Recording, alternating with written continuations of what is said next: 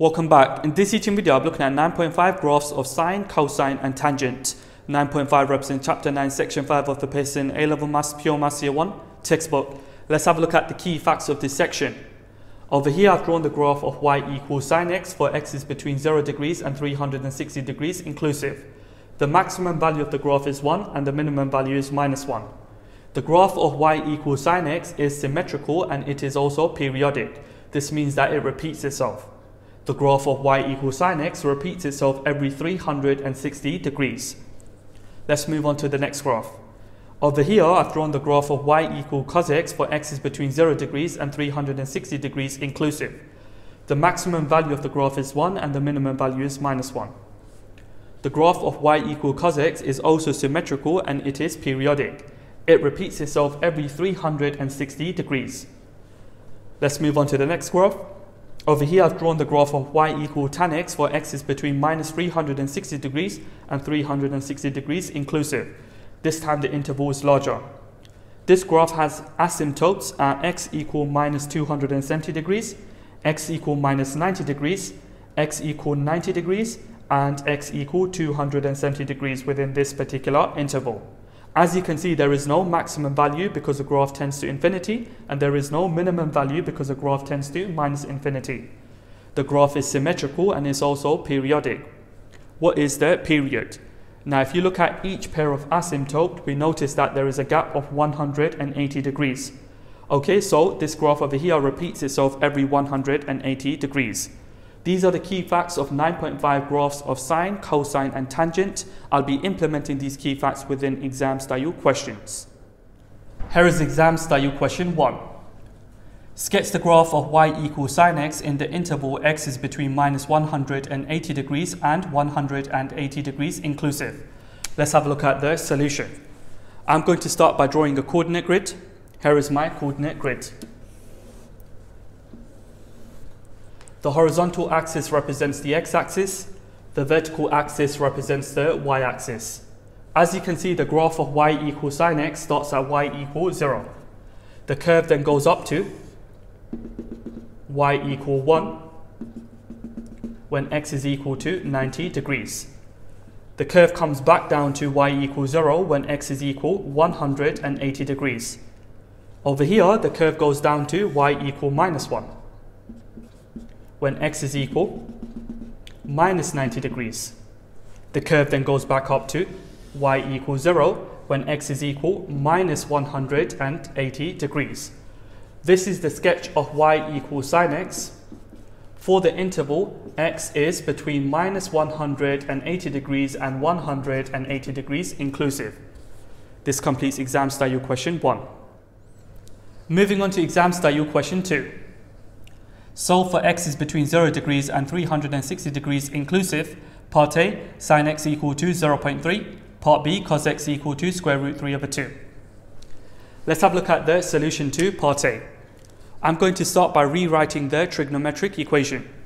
So I've got sine x equal to 0.3.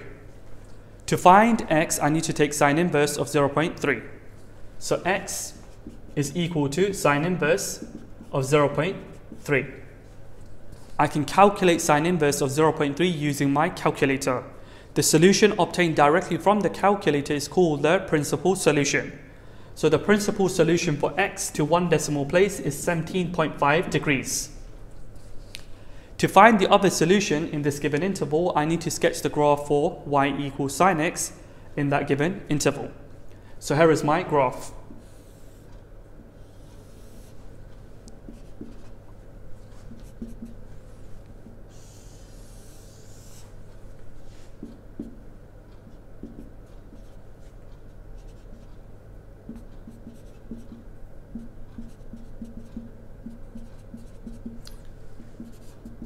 That there, ladies and gents, is the graph for y equals sine x.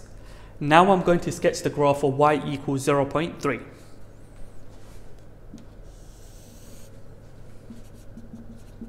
This is the graph for y equals 0.3.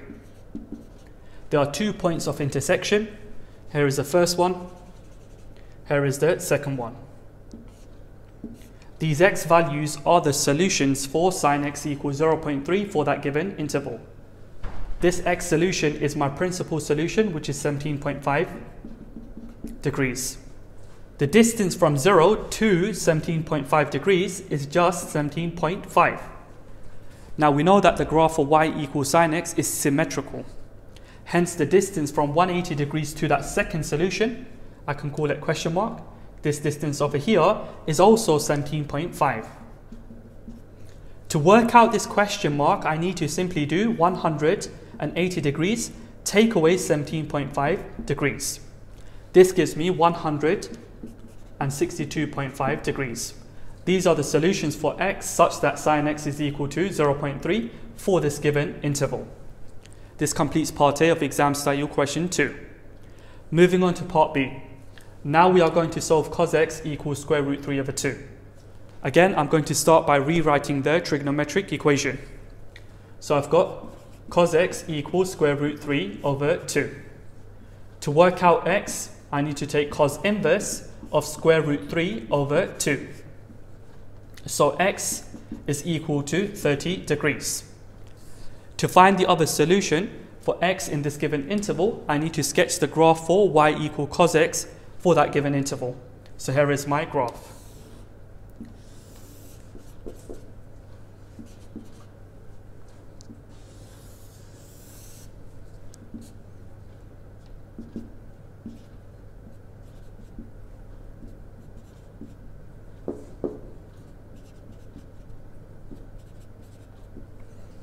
So this is the graph of y equal cos x.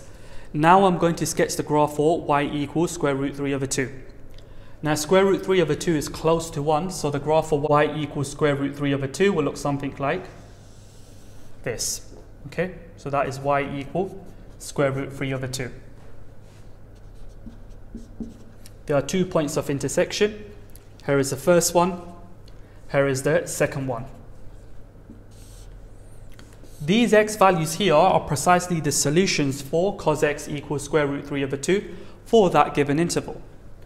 This first solution over here is my principal solution 30 degrees. The distance from 0 to 30 degrees is precisely 30. We know that the graph for y equal cos x is symmetrical. So we can see that the distance from 360 degrees to that second solution over here, question mark, is also 30. So how do we work out that question mark? All we have to do is 360 degrees take away 30 degrees. And that there gives me 330 degrees. So these are the solutions for x such that cos x is equal to square root 3 over 2. Alright, so these solutions are in this given interval. And that there completes exam style question 2 and this teaching video 9.5 graphs of sine, cosine and tangent. If you found this teaching video useful, please don't forget to subscribe, leave a like, leave a comment, turn on your notification bell so that you receive notifications every time I post a new teaching video.